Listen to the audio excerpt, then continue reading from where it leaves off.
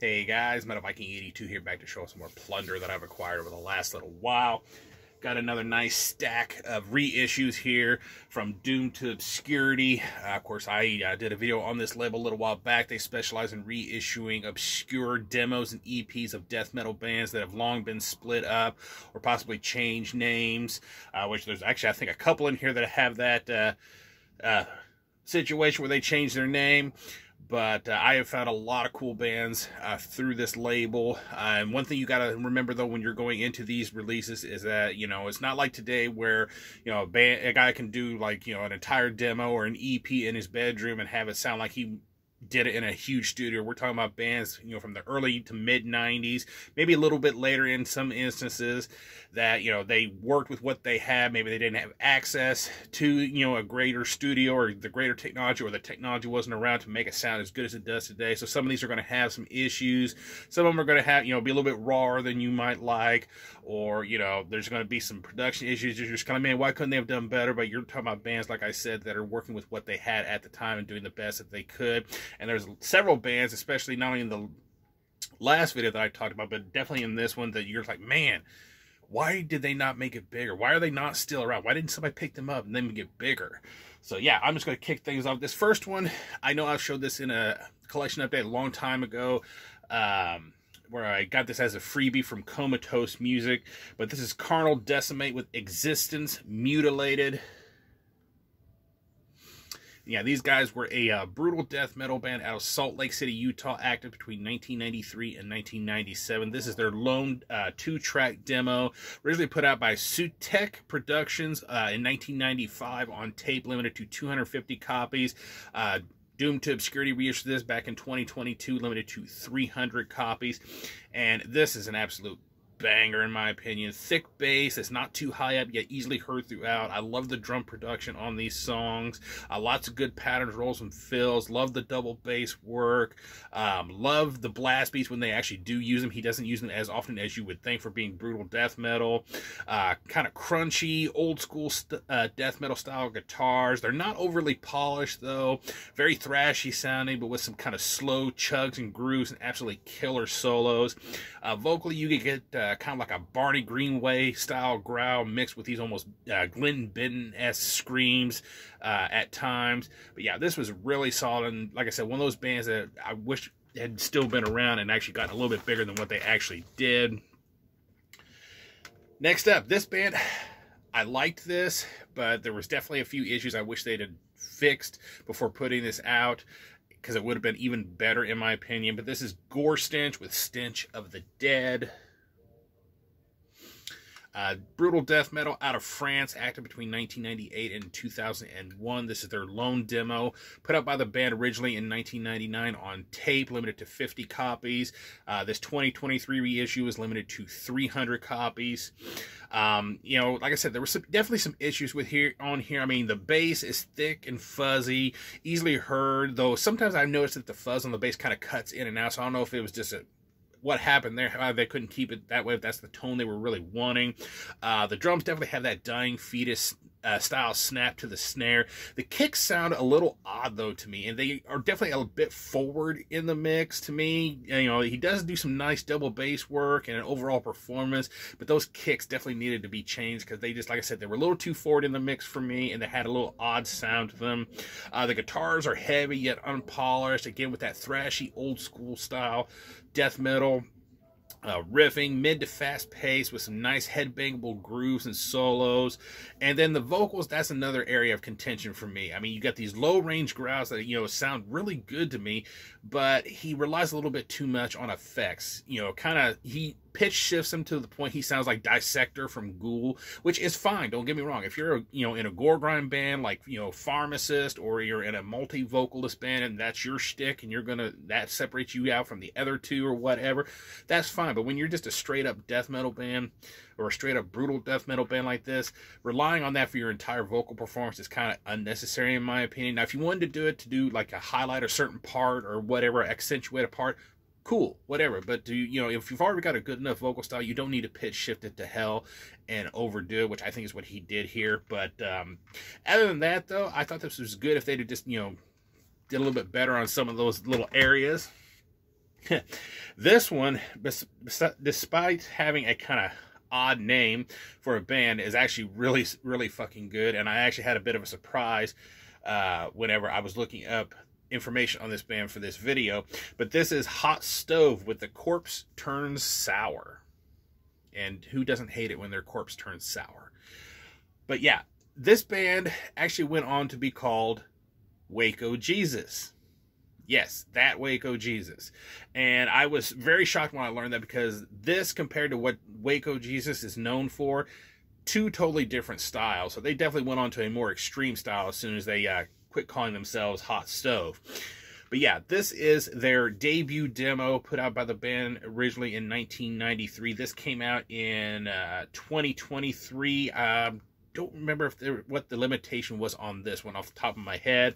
But yeah, this is really freaking good. You know, the bass is thick toned, easily heard despite not being too high up in the mix. Great drum production and performance. I really love the double bass work on this uh, demo.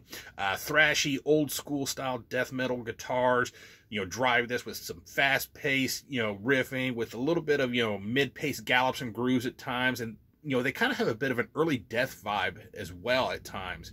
Uh, then when you get into track number six, Souls at War, I really love that heavy groove about a minute and 37 seconds into that song with the bass rumbling away and just some nice double bass work underneath of it.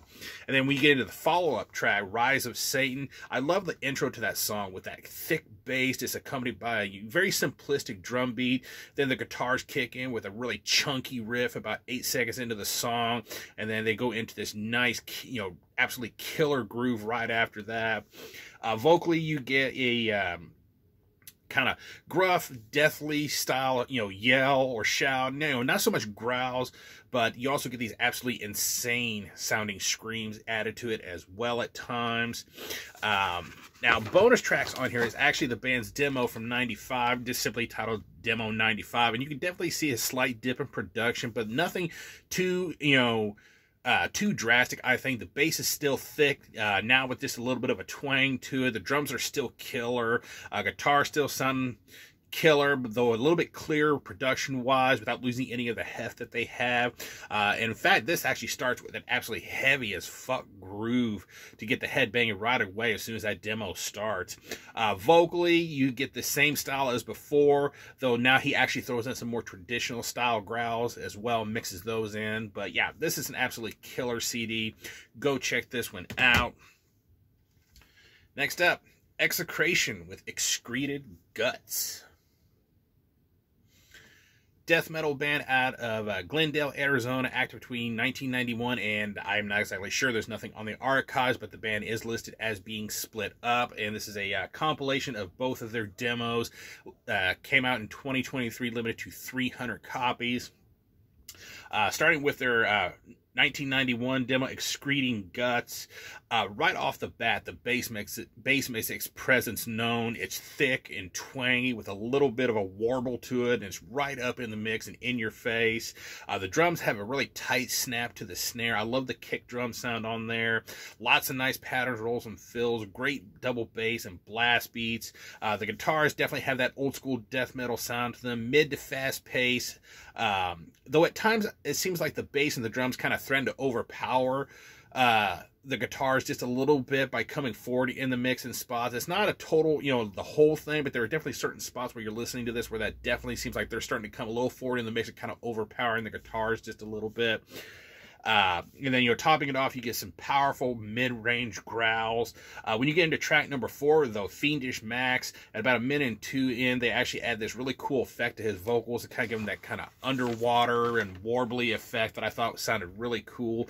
But um, yeah, pretty cool demo overall. Then you get into you know the notes here. Got several pages here. But uh, you get into their 1992 demo, Meat. Uh, straight off, the production on this one sounds different. It's kind of got a bit of a raw, more raw feel to it. Uh, the drum production has definitely improved. Um, faster paced, but still with lots of nice pattern rolls and fills, double bass and blast beats. The bass is still thick, but without that warble effect to it, and actually has a lot of a uh, kind of a bit of a Alex Websterish feel to it, I think, and it definitely sits higher in the mix too, which I like. Uh, the guitars still have that same crunchy tone as before. Uh, slightly cleaner sounding, though, on this demo. Uh, then when you get into the title track, track number nine, Meat, uh, there's an absolutely killer solo with some great use of the whammy bar at about a minute and 27 into that song. Um, the vocals definitely sound stronger on that second demo. Still mid-range, though now they remind me a little bit of uh, Trevor Strnad's guest spot on um, the lead-off track to VHS's uh, album in uh, I Heard They Suck Blood. If you've ever heard that song, uh, that's basically how this guy sounds. He definitely has a Trevor Strnadish uh, quality to him. Um, I would have to say that Meat is probably my favorite of the two demos on this compilation. You know, even with that slightly raw production, you know, the sound overall is way better, I think, and I think the band sounds tighter overall, so I definitely enjoyed both of them, but I think Meat definitely gets the nod from me. Next up, Unearth with Concentrated Misery death metal band out of Albuquerque, New Mexico, active between 1991 and 1996. This is a compilation of both their demos put out last year, limited to 500 copies, though it is weird because they actually have them in reverse order here. You have the 1995 demo first, and then the 94 demo. Why? I don't know, but I digress. Uh, first up, we have, I have to look at the thing here, Spill the Plagues, because I forgot to write down the full titles like a dummy. But uh, yeah, this is the band's second demo put out by the band in 1995 on tape originally. Uh, really solid stuff. Thick tone bass, easily heard throughout. It's not too high up in the mix. Really solid drumming with some good patterns, rolls, and fills. Loved the double bass and the blast beats on there.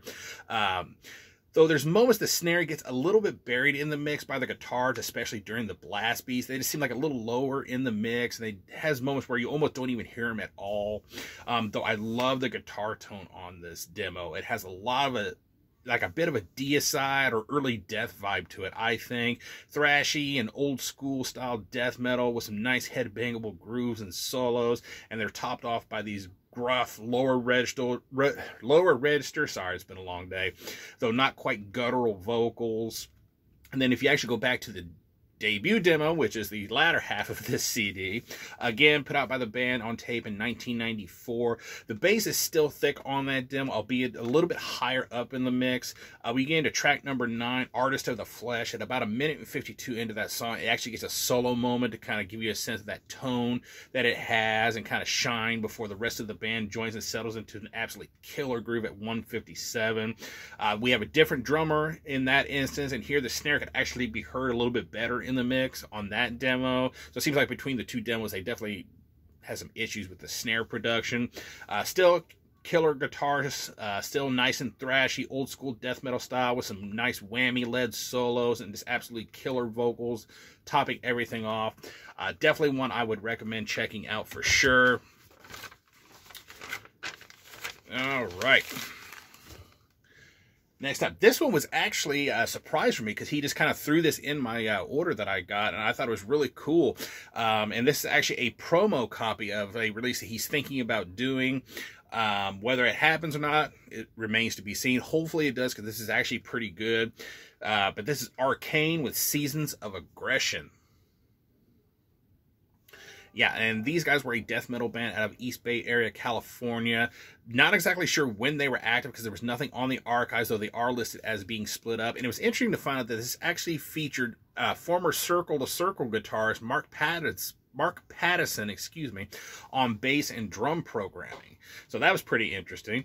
But yeah, this is their lone demo, originally put out by the band themselves in 1997 on tape. Um, and yeah, I loved the bass tone on this thing. It is thick and heavy, right up in the mix, making its presence known. Uh, the drums definitely sound like a machine. There's no getting around that. It doesn't really do anything flashy. It kind of has that, you know, leprosy feel to it, which if you've heard Death's Leprosy, you know the drum style I'm talking about.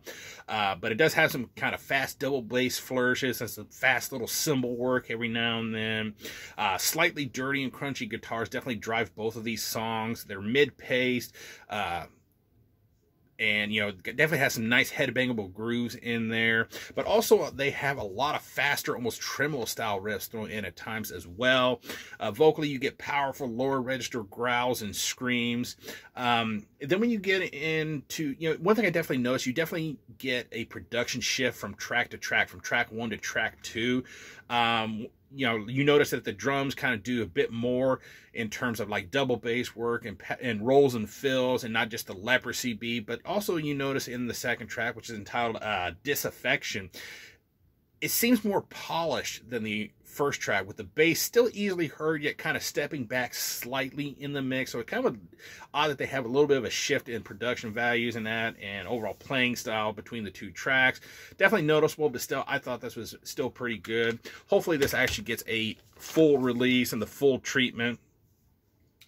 All right last two here. This in these are the most recent releases by uh, Doomed to Obscurity, and both are absolutely killer in my opinion. First up, we have Umbilical Strangulation with Necrology.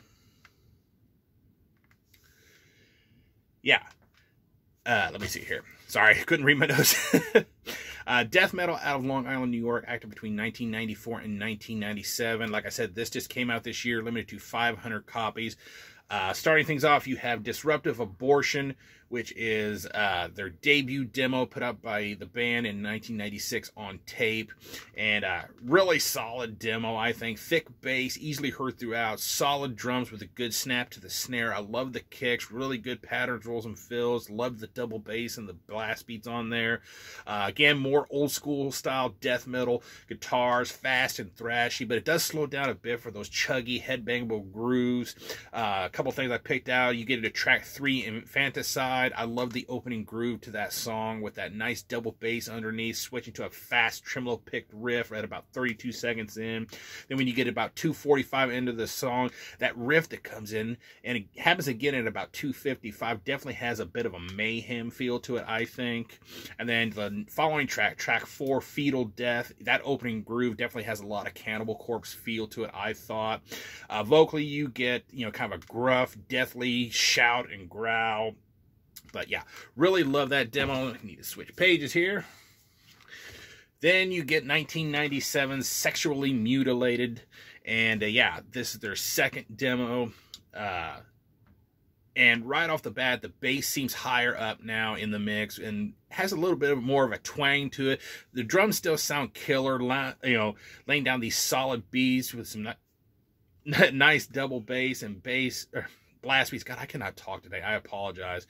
Um, the guitars definitely seem slightly less polished here, and it also has a bit more of a tendency to do the fast-paced riffing as opposed to the you know mid-paced stuff. It definitely has the mid-paced and slower chuggy sections and grooves, but they seem less prominent on here.